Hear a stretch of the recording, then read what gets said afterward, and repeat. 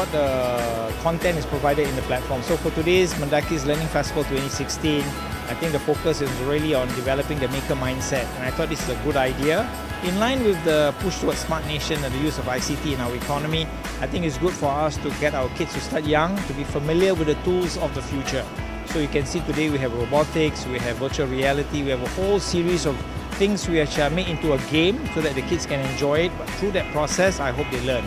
So this is really something that we want to do. Daki wants to be the partner of the community in bringing ourselves to the, to the next level.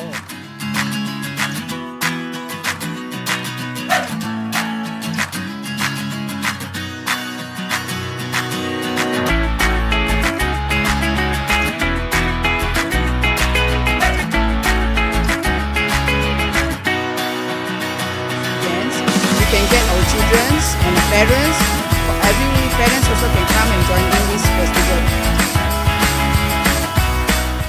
feel Learning Festival is that it is it is sort of a program that provides learning points for the students so we will be able to learn more of technology.